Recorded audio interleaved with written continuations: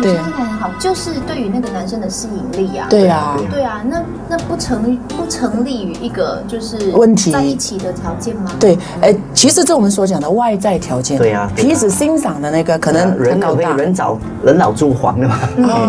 欣赏他高大，欣赏他有身材。对，我我们觉得说这个是很自然的。那刚才我举那个例子，是因为那个女生本身，她其实在她的生活当中，她没有什么主见。他往往往都是由他的妈妈说、爸爸说，所以在互动当中呢，他发现到这个女朋友呢一直都有这种依赖的心理，依赖别人的意见。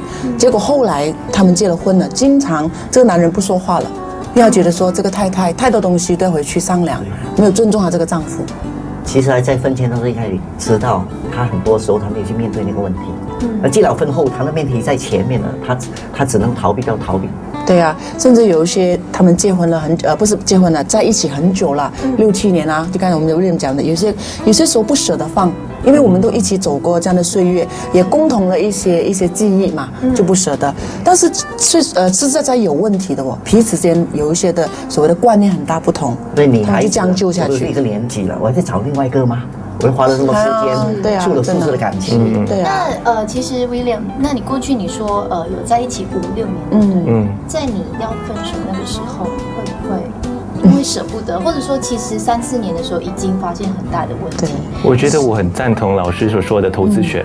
的那一个角度，就你投资了那么多，对，哎，你现在放弃的话，不是太亏本了吗？对呀，对呀，嗯，然后就越拖越久，然后就算可能会发现到一些问题的存在，但是也不会去正视这些问题，对了，就会觉得说啊，有更重要的东西是要先处理，对，就是说已经五六年了，可能哎不用紧这些问题，待会再解决，对呀，这样的东西。但是，所以老师在我我觉得很多在外面的一些朋友也有同样的问题，对。呀，真的啊。那如果是这样子的话，你要怎么去？好像你说个性的问题，那我不可能。说在短短的一两年就把他个性改变过来，有可能吗？对，这个是将换对象本性难的。对，no。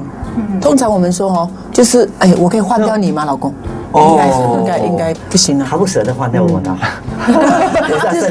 就是如如果 William 这样讲的话，我觉得是直接道入那个那个重点，就说其实不能够说看到缺点就逃掉，就不要他，换一个人。天下没有一个完美的人，其实都是有缺点。那等一下我们谈的时候呢，我们可以慎重的思考，我要跟他跑这么多年，我是否长期要逃避那个问题呢？问题永远存在那甚至有一些人长期面对不好的互动，他觉得说世上没有真爱的，不可能有这么 gap 的了。这样我觉得呃有很多可能是女生甚至是男生都会有一种心理，就是我现在跟他在一起，我发现他有问题了嘛，哈，嗯，可是。